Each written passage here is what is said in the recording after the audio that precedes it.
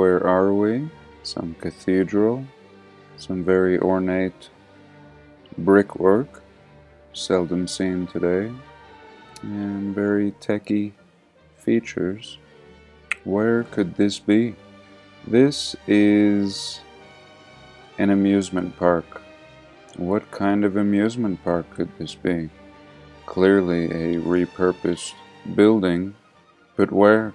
This building is in Japan, and this is Disney World in Japan. The Tower of Terror at DisneySea. So here we go. In Tokyo, Japan, the Tower of Terror.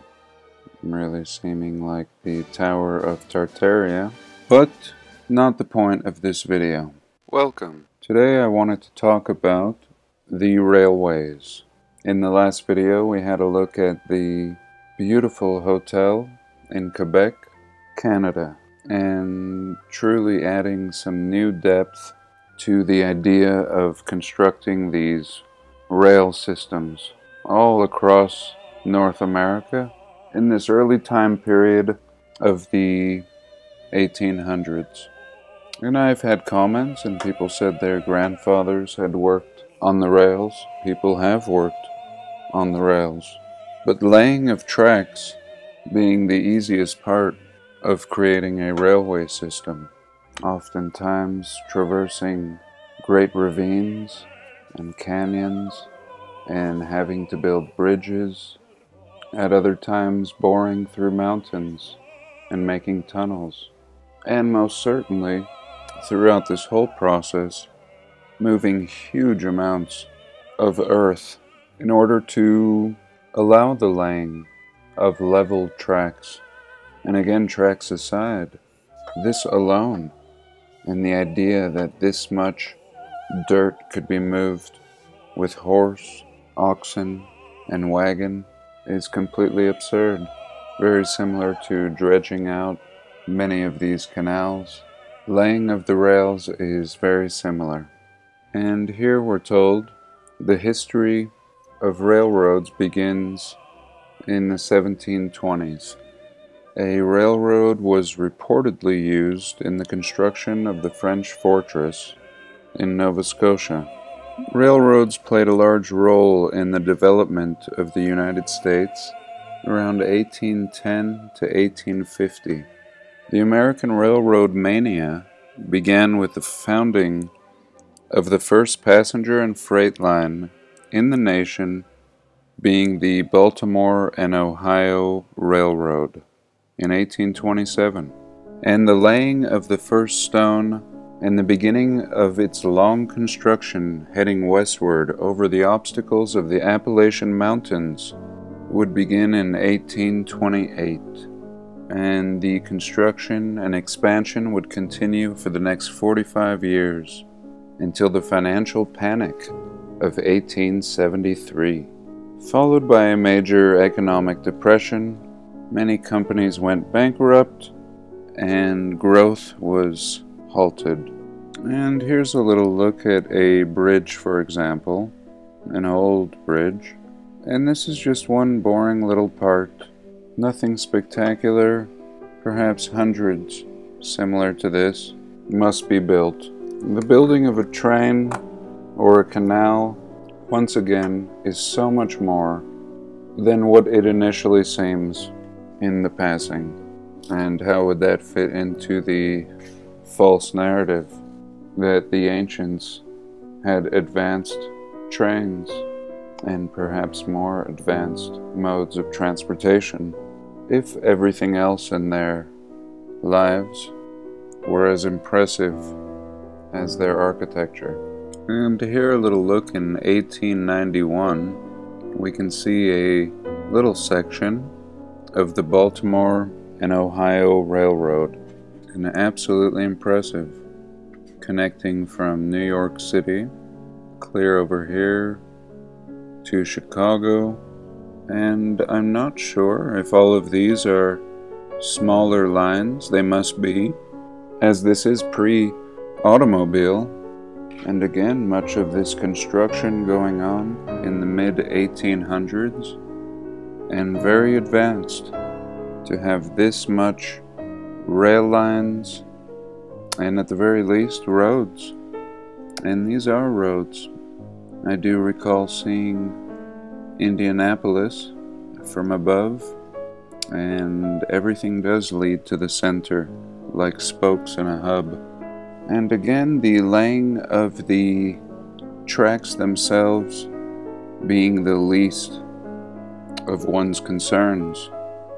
It's the laying of a level surface and cutting through the rugged wilderness of the early and mid 1800s using the most primitive means available to our people in this time period and very impressive and accurate map making. Here's one from 1876, again from the Baltimore and Ohio Railroad Company. And here we can see how far they got. And again, seeming as if these may be smaller transcontinental branches.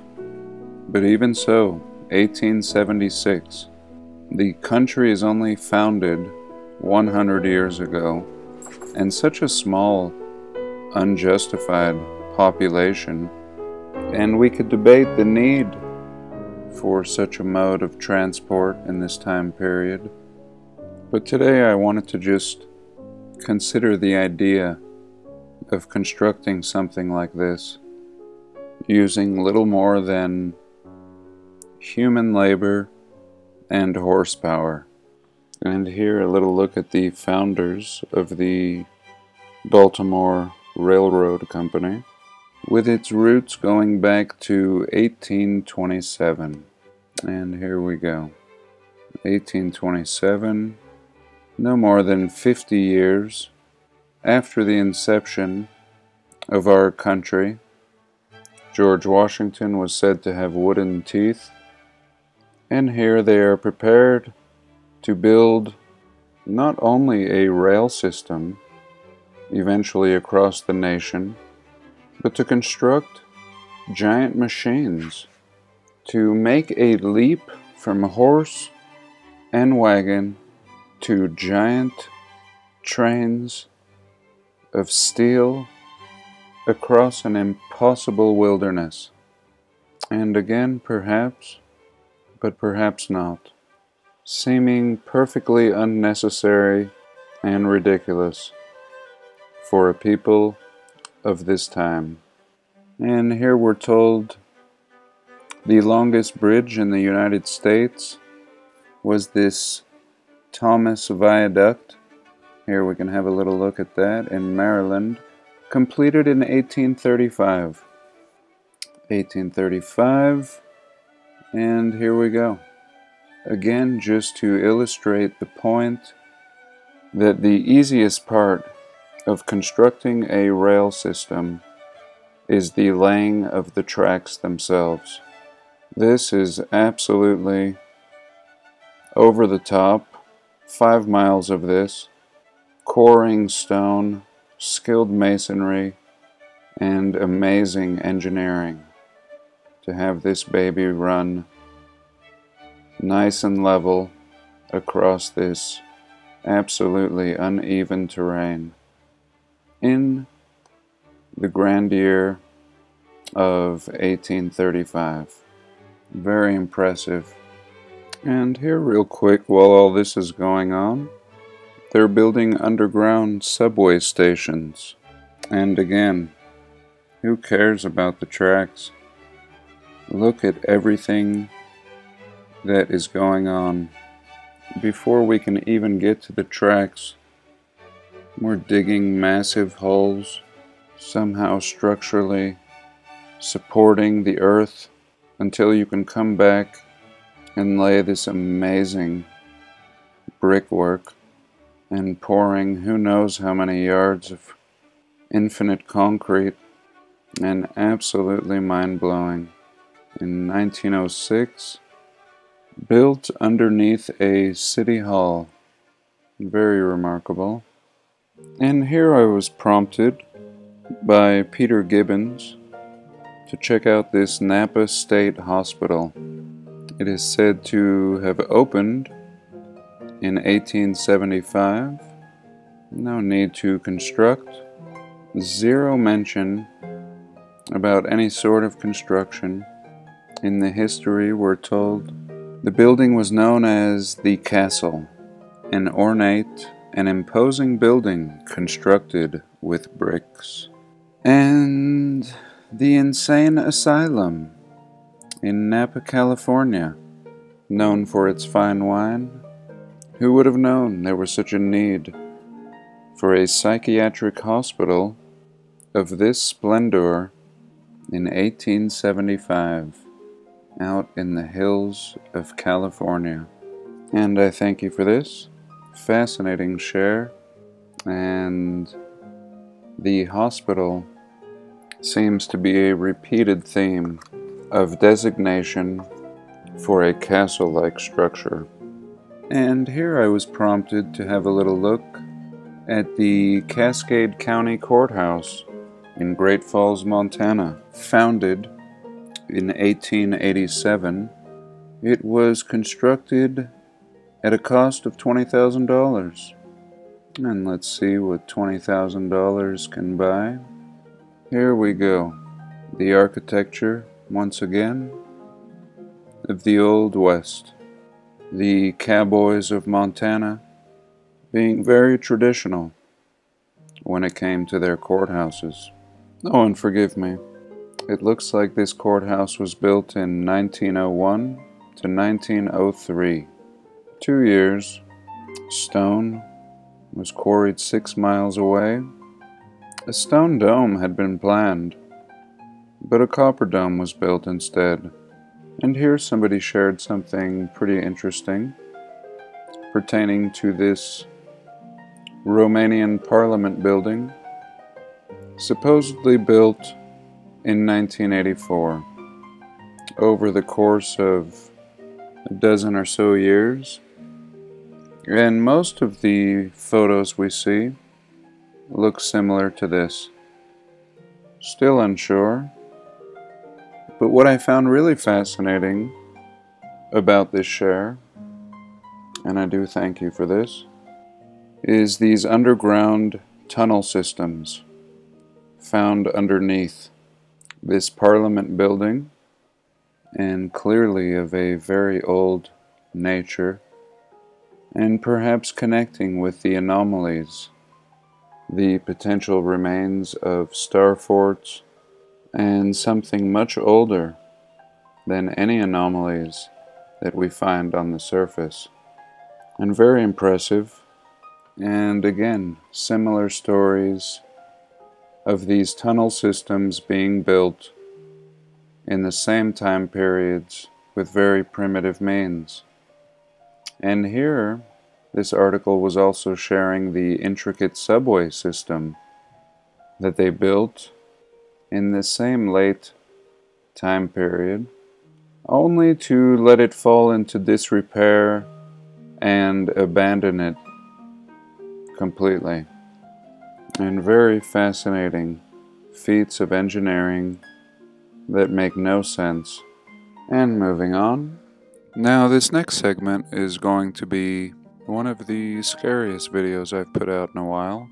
I felt it could be a risk to the channel and I have decided to post it on my off-topic channel or my backup channel just in case it should raise any issues. Here I was simply going to show you the first minute of the video and if you like it or are interested I will leave the link below.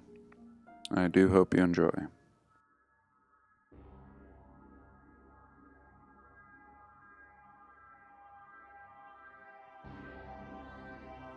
And in this little segment, I wanted to share my joy and excitement. Truly, I have just hit the jackpot. Something that may seem small to some, but very exciting to me. The most exciting thing I have found in my research for some time. Typically, I share a different kind of research, as you all know. But this is my other passion, the law, and all the fraudulency that goes on within it. And how the more I study the law, the more I realize it is very beneficial to us. The only problem is we don't know it, and we don't know our rights. And this allows us to be tricked and trapped by governments and corporations who understand the system well. And what we find is when somebody else understands the system and shows their understanding and knowledge to these groups engaged in lies, typically they back off, only because they realize you know the truth and it's game over. Well, that's it for today. I do hope you enjoyed and do have a blessed day. Please like, comment, and subscribe.